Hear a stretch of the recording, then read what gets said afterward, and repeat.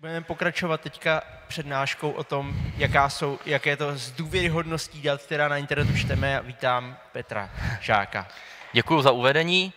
Já se už v rychlosti představím sám. Krásný dobrý den. Jmenuji se teda Petr Žák, teď působím tady v pražské společnosti Kata Consulting a předtím jsem působil, dělal jsem bezpečnost na Západočeské univerzitě v Plzni. Takže to jako k přihrání polivčičky a pojďme teda na, to, na tu důvěryhodnost, respektive spíš nedůvěryhodnost informací na internetu. Začněme citátem. Nevěřte všemu, co si přečtete na internetu, jenom protože vedle je, foto, je, je fotka a citát. Řekl to Abraham Lincoln. Prosím vás, než se mě zeptáte, jestli za času Lincoln existoval internet. Ne, neexistoval, v tom je ten vtip. Už jsem to na předchozím uvedení téhle přednášky zažil, že tu mi tuhle, otázku někdo vážně položil. Jo. Takže to je na úvod, opravdu point této prezentace je vám vysvětlit, že takový to, říkali to v televizi, tak to musí být pravda, ne, psali to na internetu, tak to musí být pravda, taky ne. Jo. Takový, řekněme, na rozjetí, by vás rád zapojil. Tady mám nějakých 6-7 titulků z novinových, respektive článků z nějakých médií na internetu. Doufám, že je to k přečtení. Zkuste si je v rychlosti proletět a zkuste si typnout, kolik z nich je pravdivých. Respektive kolik z těch informací, které byly pod těma, těma titulkama, bylo pravdivých, kolik bylo smyšlených. Asi to nebude to, asi nebudeme počítat, ale je tu někdo, kdo si myslí, že třeba byly pravdiví všechny? Dobře. Je tu někdo, kdo by si typnul, že třeba aspoň půlka z nich byla pravdivá? Je tu někdo, kdo si myslí, že ani jeden z nich nebyl pravdivý? Dobrý, díky za spolupráci, tak se na to podíváme. Nepravdivý, nepravdivý, pravdivý, nepravdivý, pravdivý, parodie dokonce, vymyšl, vyloženě web, který si dělá legraci z jiných dezinformací, nepravdivý. Dva z těch sedmi byly pravdiví. Přitom některý z nich zní, některý z nich zní jako naprostý nesmysl, některý z nich zní velmi rozumně, až by si člověk řekl, že to přeci musí pravda, to dává smysl, a přitom to pravda nebyla. Jo. Takže výsledek na, inter, na internetu vám lžou, nebo minimálně se o to snaží. A je jenom na vás, jestli jim uvěříte nebo ne. Jak to, že na to internetu někdo může lhát? Nebo té televizi, jak, jak je to vůbec možný, že si někdo dovolí tam napsat něco, co není pravda. No, internet je svobodný médium, jako možná se to najdou někteří z vás, kteří se se mnou budou hádat, že už tak úplně svobodný není. To nechme stranou, rozhodně to je asi v dnešní době nejsvobodnější médium, který máme. Jinak řečeno, každý si tam může psát, co chce. Sem si tam každý může založit, co chce. Já si můžu tady sednout notebooku, koupit si za 100 korun doménu a založit si doménu nejpravdivější zprávy.cz a můžu tam začít vyprávět o tom, jak, nám všich, jak nás všechny ovládají ještě z vesmíru. A nikdo mi v tom nezabrání. Můžou se mě pokusit nějakým zastavit, můžou mě banovat na Facebooku a tak dál, ale v tom, abych si založil nějakou sajtu a tam vám vyprávěl absolutní nesmysly, v tom mi nikdo nezabrání. A tím se dostáváme k tomu, že ta výstupní kontrola těch informací, když já něco takového udělám, tak poznat, jestli to je pravda nebo ne, a rozmyslet se, jestli tomu budu věřit nebo ne, je jenom na vás. V novinách, v televizi, tam existuje nějaký redaktor, nějaký editor, a když budu chtít vydat v nějakých rozumných novinách článek o tom, že vás, nás ovládají ještě ještě z vesmíru, tak mě vezmou a vyhodějí. Na tom internetu není nikdo, kdo by mě vyhodil, že jo. Tam, si to prostě, tam to prostě zveřejním, někde, někde si to nazdílím a můžu si to přečíst tisíce, miliony lidí, to už záleží na tom, jak budu šikovný propagátor. Čili jediný, čili vám nezbývá, než, si, než investovat svůj čas a svoji práci do toho, abyste případný lži rozpoznali. No a myslel jsem k tomu, proč bych to dělal? Co já bych měl z toho, že, budu že si založím nějakou webovou stránku, budu do toho investovat čas, budu do toho investovat nějaký prachy a budu vám vyprávět něco, co není pravda. No, obecně jako proč lidi lžou, to všichni víme. Chci někoho pomluvit, chci zakryt nějakou svoji chybu, chci někoho očernit, ať už člověka nebo instituci. To je jednoduchý. Chci vás přesvědčit o tom, že je pravda něco, co není těm tomu můžu mít mraky, mraky různých důvodů, moje agenda může být různá. Jo. Ale veškeré ty informace, dezinformace na tom internetu nejsou jenom o tom, že vás někdo chce, že vás někdo nutně potřebuje přesvědčit o tom, že zrovna tenhle ten článek je pravdivý. Vy, se, vy si to přečtete a přečtete si, že tady na to plánuje válku proti Rusku a tadyhle migrační vlna má 10 milionů lidí a tak. A si, teď to není pravda, teď já vím, že přeci to tak asi nebude. To je jedno Když to ten se na vás bude valit pořád a pořád a pořád, tak ve vás vznikne pochybnost. Když budete číst, říká se stokrát opakovaná lež se stává pravdou. Není to tak, nicméně stokrát opakovaná ta samá lež už ve vás vyvolá nějaký pochybnost. Začnete říkat, no ale když to jako, co kdyby to tak bylo? A i to je cílem. Není cílem jenom vás přesvědčit o tom, že to tak zrovna je, je cílem vás nahodat. Nahodat a způsobit, abyste pochybovali. S tím souvisí i, s tím souvisí i další zásadní cíl. Tam spousta těch, spousta těch dezinformátorů jde hlavně o to, aby zahltili ten informační prostor, zahltili ten internet takovou hromadou všemožných zpráv, z nichž některý jsou částečně pravdiví, některý jsou pravdiví, některý jsou zavádějící, spousta nich je úplně vymyšlených, že vás absolutně přestane bavit přemýšlet o tom, co je pravda a co ne. On to dá práci, musíte si to ověřovat, musíte si hledat zdroje. Musíte o tom přemýšlet a přemýšlení bolí, to všichni víme mnohem, je mnohem jako pohodlnější, jestli to přečíst a říct, OK, tak jsem to čet a tady si to jako uložím do hlavy a vlastně to budu brát, že to tak je. Čili když vás nějaký dezinformátor nebo někdo s nějakou agendou nutí neustále přemýšlet o tom, co je pravda a co ne, vás to přestane bavit. A pak to vede k takové, ty lidi řeknou, z té, to je, nějak, z té je pravda vždycky někde mezi. A z té se to nikdy nedozvíme, to si řeší ty někde nahoře. A to je přesně to, co je už hrozně špatně a co, by se vám, co se vám nesmí stát, protože to není kompromisní řešení. To znamená, že byste v tu chvíli rezignovali na to, jako že se vůbec někdy, že budete řešit, co je pravda a co lež. Prostě jste si řekli, já už na to kašlu. Nezajímá mě to a v tu chvíli se rozhodujete a přemýšlíte vlastně po, na základě často nepravdivých informací, protože už vás štve neustále řešit, jestli jsou pravdiví nebo ne. No a proč to vlastně ty lidi, kteří se snaží dosáhnout toho, co jsem teď popsal, dělají? Samozřejmě spousta lidí tyhle ty věci šíří nebo propaguje, většinou teda spíš v diskuzích, než by to sami psali, z nějakých osobních důvodů. Protože v momentě, kdy já dojdu k názoru a přesvědčím sám sebe o tom, že za všechno zlo v České republice může Kalousek, v tu chvíli já si hrozně zjednoduším život. Nebo, nebo Rusko, nebo to je jedno. Neberte to jako, prosím vás, disclaimer, neberte to jako nějakou agitku na jednu stranu, to jsou jenom příklady. Dosaďte si tam cokoliv jiného, když cokoliv jiného za ten příklad. V momentě, kdy já si najdu jednoho konkrétního vyníka, když já, si, když já se rozhodnu tak a teďko vím přesně, jak to bylo, vím, kdo to udělal a vím, jak se to stalo, mě to dává pocit kontroly, mě to dává pocit moci nad něčím složitým, co je často těžký nebo nemožný na pochopení. Když si řeknu, za ekonomickou krizi, za to, že jsem se měl špatně, může ten kalousek. Je to mnohem jednodušší a, můžu, a teď ho můžu nenávidět, můžu být na něj naštvaný a nemusím přemýšlet o tom, jestli třeba to nebylo tamhletím a tímhletím a jestli jsem se za to trošku nemohl já. To už je v tu chvíli jedno. Já mám vyníka, můžu to vzít jako hotovou věc, řeknu si, OK, takhle to bylo a jsem spokojený, že jsem to vyřešil. Dává mi to pocit de facto nadřazenosti nad ostatníma. Já vím, jak to bylo a vy to nevíte. Je to z osobního hlediska je to hrozně příjemný a proto to spousta těch lidí dělá. Příklad jsou de facto třeba, řekněme, veškeré konspirační teorie. Proč lidi věří konspiračním teoriím? Protože jim to dává pocit vlády nad tou situací. Vlády nad tím, že chápou, co se v tom světě děje. Ve chvíli, kdy ve skutečnosti možná jako nikdo z nás pořádně netuší, jak to vlastně celý bylo. I když to, i v momentě, kdy to není pravda, je příjemný mít pocit, že vím, jak to bylo. A pak samozřejmě druhým hlavním cílem je, ve chvíli se to dělá, řekněme, profesionálně nebo za nějakým vyšším cílem, kdy za šíření nějakých dezinformací jsou ty lidi placení. Teďko se hodně řeší samozřejmě pro ruský spravodajský weby, fake news, fake news pro ruský, ve státech se zase řešili fake news třeba pro Trumpovský před volbama prezidentskýma, hodně se řeší ruský trojí farmy, kdy vlastně lidi jsou placen za to, aby diskutovali, placen za to, aby v tom virtuálním prostoru vytvářeli dojem, že panuje nějaký všeobecný názor, který ve skutečnosti zastává několik pár třeba jako okrajových lidí.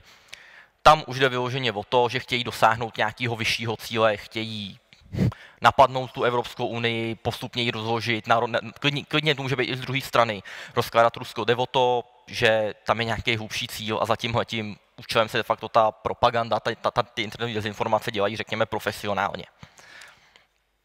No jo, teď se vám řekl, že vlastně skoro nemůžete věřit ničemu, a vy jste se mě asi jako chtěli zeptat, co mám teda dělat, abych nedopad, abych nedopad špatně, abych nevěřil budům.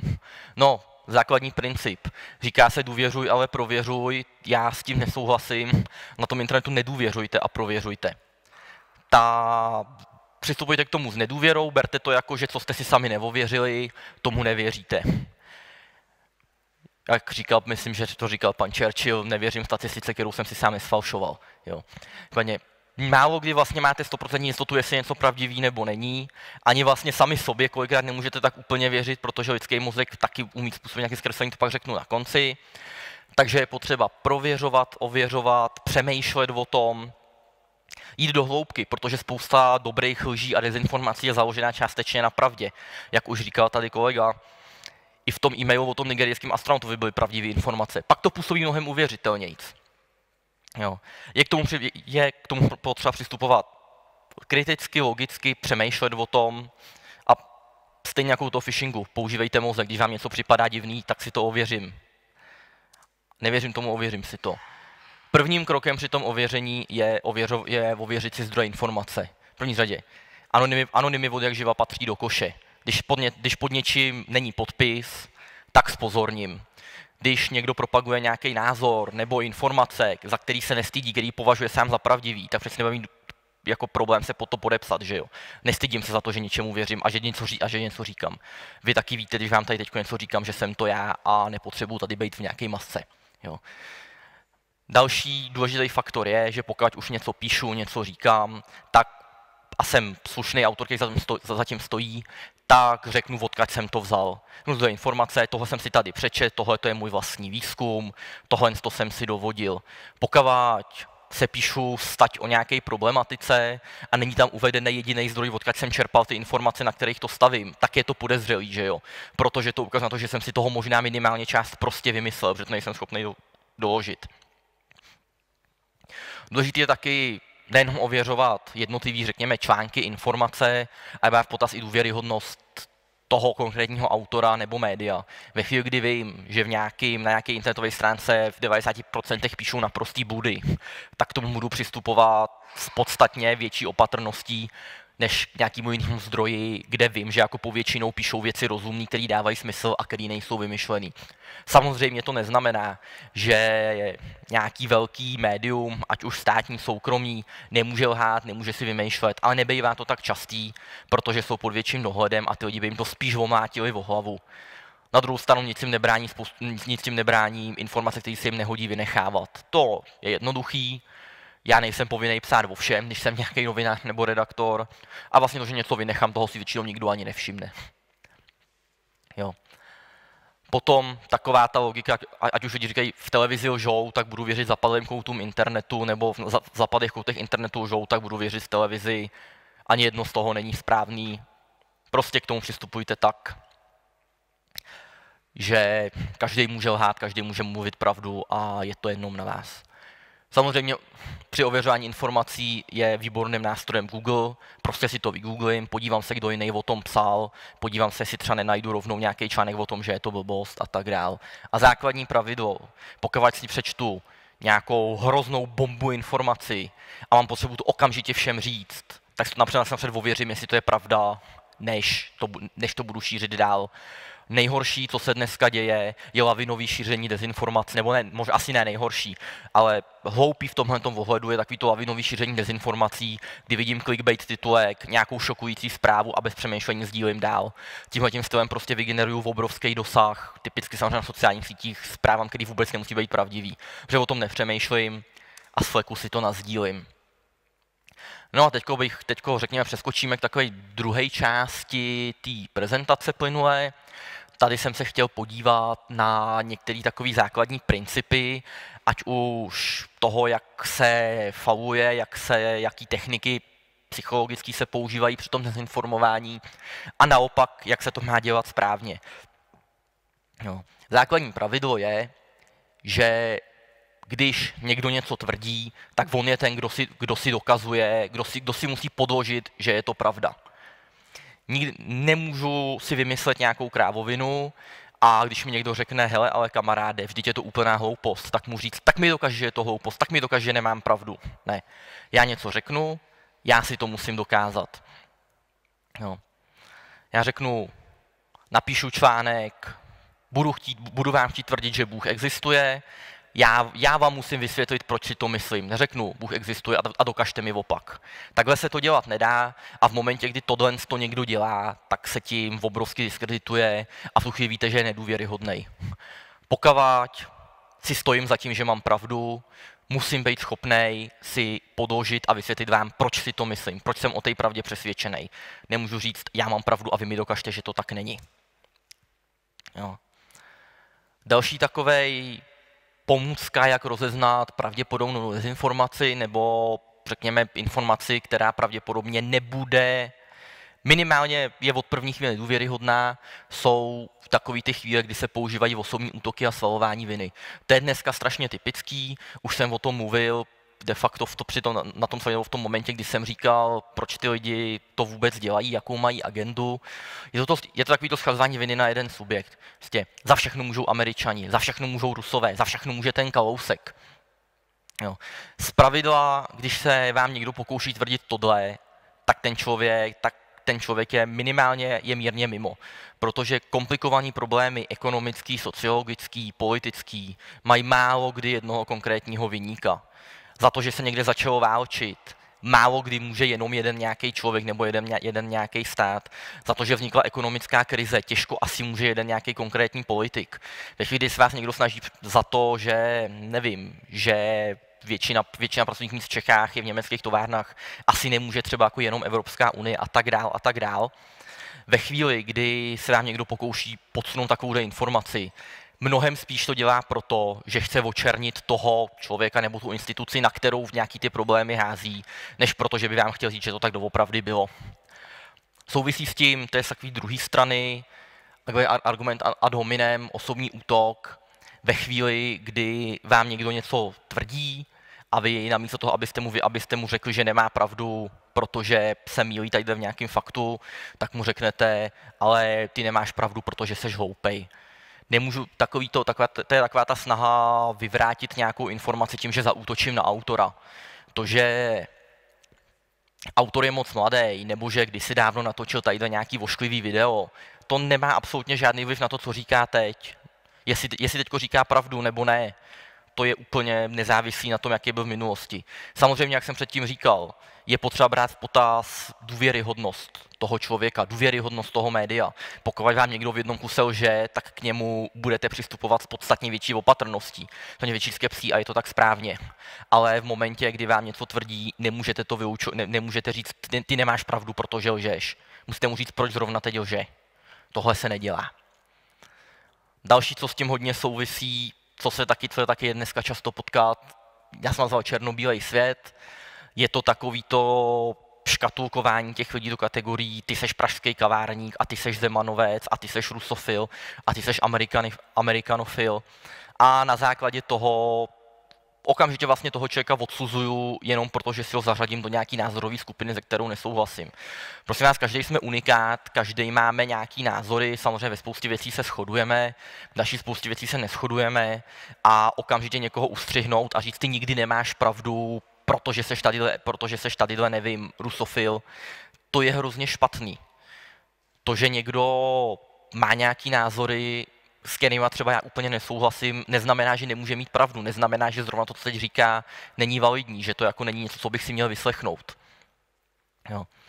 S tím vlastně potom souvisí ten fal toho falešního dilematu, kde já záměrně vytvářím pocit, že prostě ta problém, který černobílej není, černobíle je, snažím se říct, že prostě buď to seš tady zastánce EU, nebo seš tady zastánce Ruska a neexistuje nic mezi. Vždycky existuje něco mezi. Chvíli se prostě snažím vyvolat dojem, že, buď to, že je to buď a nebo, tak těch možností je tam asi tak 50 až 500 a já si prostě chci to akorát zjednodušit a tím, že někoho takhle onálepkuju a tím, že někoho takhle napadnu, tak se vyhnout té potřebě a té nutnosti obhajovat ty svoje postoje férově. Jo. Existují samozřejmě i další podrazy, které můžete potkat a které by vás měly upozornit na to, že člověk, který je používá, nebo médium, který je používá, nebude úplně důvěryhodný. Klasika podsunutí argumentu, já si vymyslím něco, co vy byste mi mohli říct, ale vy si to vlastně vůbec nemyslíte. Já jsem si to vymyslel a já si to rovnou vyvrátím. V tu chvíli vyvolám pocit, že jsem vás diskuzně úplně rozsekal, jenže já jsem rozsekal sám sebe Já jsem si takhle na místo vás postavil nějakou figurínu, který jsem takhle vložil do pusy nějaký názor, který jsem si řekl, že vy byste asi mohli zastávat a který já snadno rozsekám, ten jsem potom rozsekal. Není fér, já v tu chvíli vůbec jako se nebavím s váma. Jo. Klasika, takový ty uhybný manévry, hele, a jaká je vlastně v tom Rusku minimální mzda? No a američani zase mátějí černochy. Jo. Vlastně v momentě, kdy nemám argument, tak se pokusím uskočit jinam. Jsou i další, ty, existují samozřejmě i další, já bych to asi úplně neřešil, protože je to takový seznam, který je, je zajímavý vědět, že to existuje, nemá se se v tom moc vrtat, když tak se to dá dogooglit. Další, co je hrozně důležitý, dávejte si pozor v momentě, kdy se někdo snaží útočit na vaše emoce. To jste viděli třeba i jak kolega ukazoval ten phishing, v momentě, kdy vám přijde e-mail, že někde dlužíte 10 tisíc a přijde na vás exekutor, co je pointou toho e-mailu? Jeho pointou je, je vás vyděsit. On vás vyděsí, vy máte strach, zapíná, zapíná se vaše, zapínají se vaše emoce a v tu chvíli logika na druhou kolej.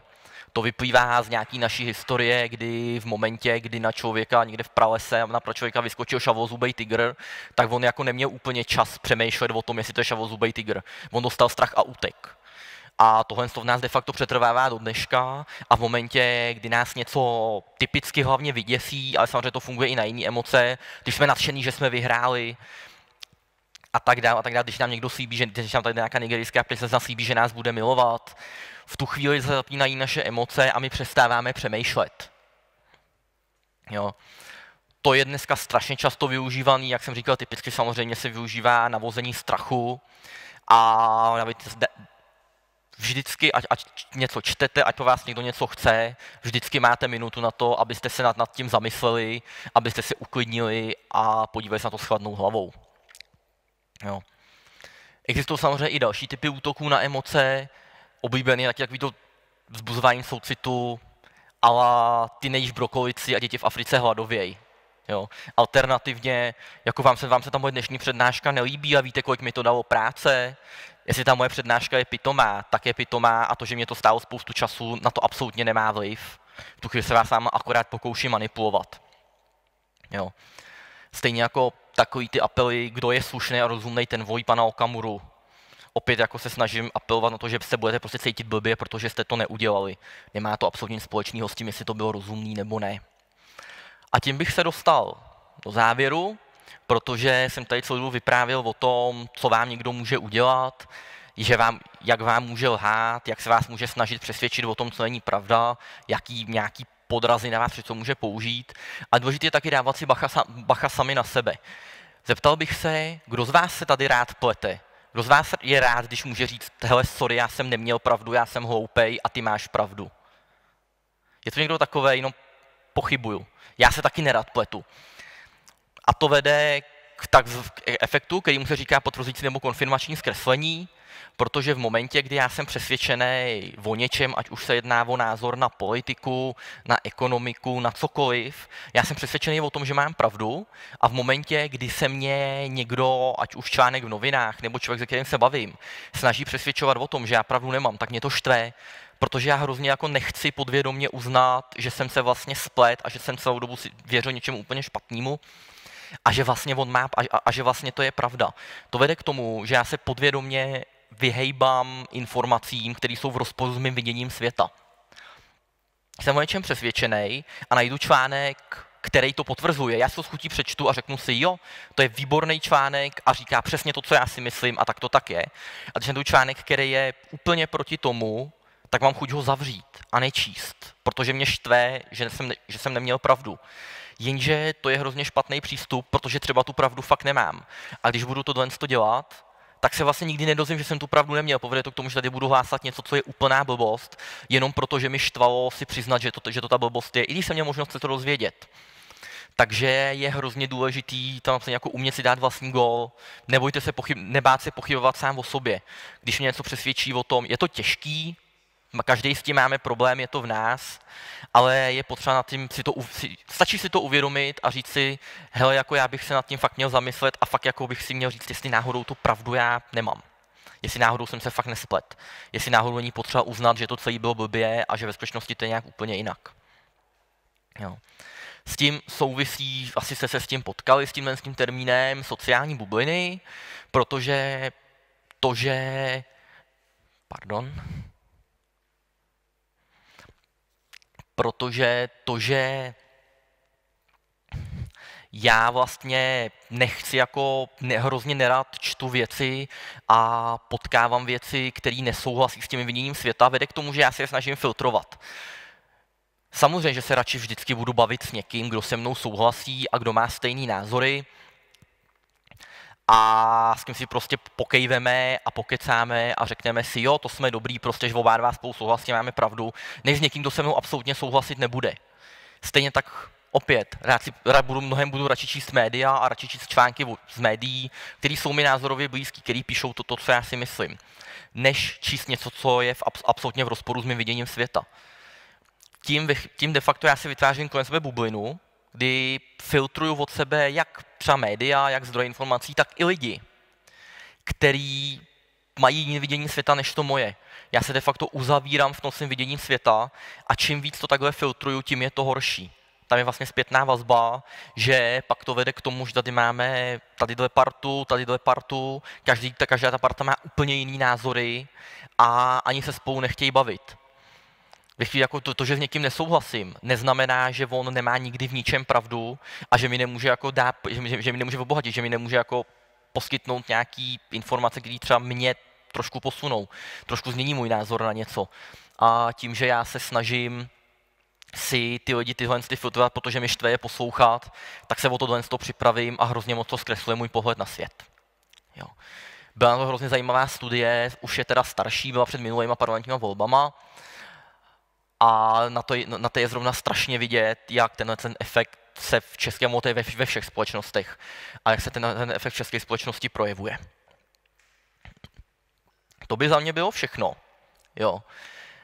Tady co jsem vám vlastně tohletou prezentací chtěl říct, jak moje asi nejoblíbenější seriálová postava hned po Walteru Whiteovi je tady ten pan House. A ten vždycky, a ten párkrát řekne, že všichni lžou a jediná otázka je o čem. To je na jednu, to je na jednu stranu asi pravda, na druhou stranu neznamená to, že by se měl člověk vzdávat a říct, všichni lžou, tak vlastně žádná pravda neexistuje a já na to kašlu. Znamená to, berte v potaz, že všichni vám můžou lhát a snažte se hledat tu pravdu mezi těma žema. Říká se to tak. Tak já vám děkuji za pozornost, jestli si chce někdo něco tady, jestli mě chce někdo skritizovat nebo se na něco zeptat. Děkujeme.